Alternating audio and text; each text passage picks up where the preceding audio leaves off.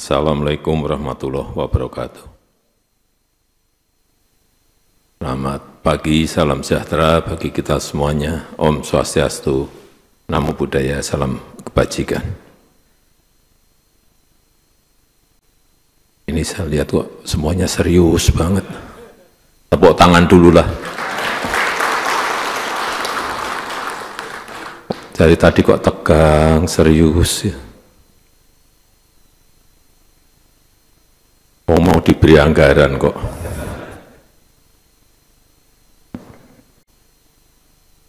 Yang saya hormati para ketua dan pimpinan lembaga-lembaga tinggi negara, para menteri, Kabinet Indonesia Maju, para pimpinan lembaga pemerintah non-kementerian, yang saya hormati Panglima TNI, Kapolri, Jaksa Agung, para gubernur, bupati dan wali kota, Bapak Ibu hadirin dan undangan yang berbahagia. Saya kira sudah bolak-balik saya sampaikan situasi global masih penuh dengan ketidakpastian, geopolitik juga tidak semakin baik tetapi semakin memanas, dampak perubahan iklim juga semakin nyata, semakin kelihatan dan kita rasakan semuanya. Dan potensi krisis dan potensi resesi tidak semakin mereda tetapi juga semakin menguat. Sehingga saya ingin mengingatkan kepada kita semuanya, kita harus terus waspada, hati-hati, waspada. Dan pada kesempatan yang baik ini, saya ingin mengingatkan yang pertama, ini sudah tidak ada penyerahan lagi kayak dulu-dulu diserahin, serahin. Nanti semuanya proses sudah digital, sehingga yang hadir di sini tidak saya serahkan satu buku, biasanya kan sudah berpuluh-puluh tahun seperti itu. Mulai hari ini tidak pakai penyerahan itu. Tapi saya ingin mengingatkan yang pertama, gunakan anggaran yang telah diberikan itu sekali lagi secara disiplin, teliti dan tepat sasaran.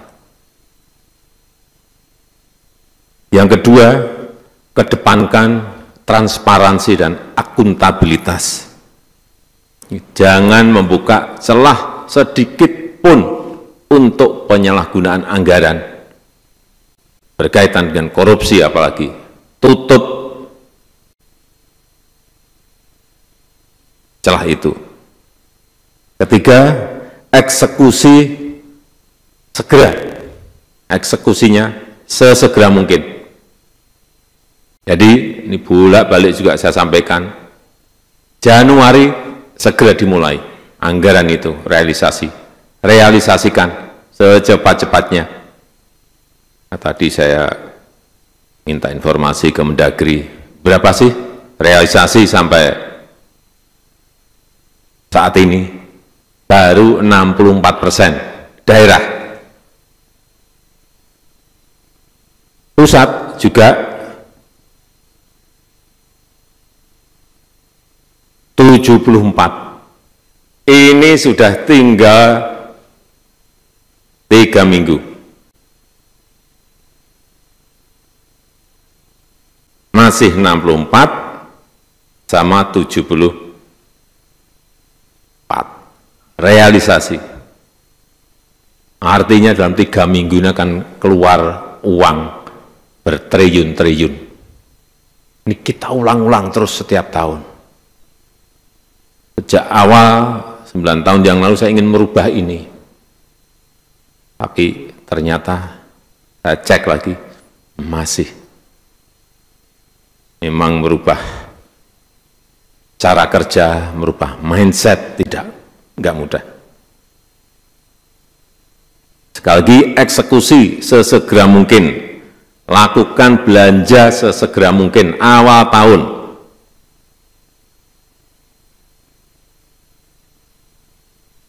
Yang keempat, siapkan antisipasi ketidakpastian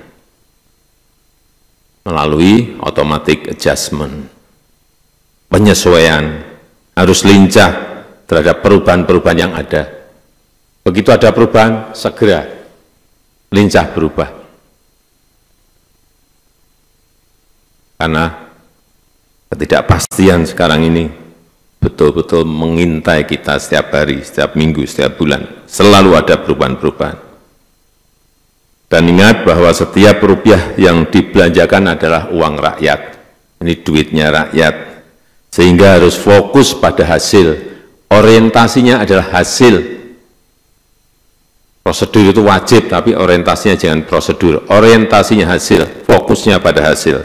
Dan yang paling penting juga bermanfaat maksimal bagi rakyat. Khusus untuk pemerintah daerah, perkuat sinergi dan harmonisasi dengan kebijakan pemerintah pusat. Artinya APBD ini harus sinergi dan harmonisasi yang baik dengan kebijakan-kebijakan pemerintah pusat agar pembangunan lebih selaras. Jangan sampai nanti pemerintah pusat bangun waduk, irigasinya yang itu tugasnya daerah tidak dilakukan untuk apa? Sudah bangun pelabuhan gede, jalan provinsi, jalan kabupaten kotanya tidak dikoneksikan dengan pelabuhan itu untuk apa? Sudah bikin jalan tol, mestinya pemerintah provinsi, kabupaten dan kota itu menyambungkan dengan kawasan industri, kawasan wisata, kawasan pertanian, kawasan perkebunan tidak dilakukan. Ini yang perlu saya tekankan sekali lagi sinergi dan harmonisasi biar inline semuanya. Manfaatkan dana transfer daerah untuk perbaikan layanan publik, pendidikan, kesehatan, infrastruktur, dan kembangkan alternatif-alternatif inovasi pembiayaan. Agar kita juga tetap menjaga iklim investasi, karena kunci pertumbuhan ekonomi sekarang ini hanya satu, investasi. Nah yang lain berat, sehingga kuncinya investasi. Sehingga iklim investasi di seluruh daerah, di seluruh tanah air kita harus kita jaga betul. 2024 adalah tahun terakhir pemerintahan periode ini. Hingga saya pesan agar anggaran dioptimalkan tuntaskan agenda pembangunan yang belum selesai, yang sudah direncanakan tapi belum selesai, tuntaskan untuk memperkuat fondasi bagi pemerintah yang akan datang. Saya rasa itu yang ingin saya sampaikan dalam kesempatan yang baik ini. Terakhir, saya ingin agar pemilu serentak tahun depan yang kita lakukan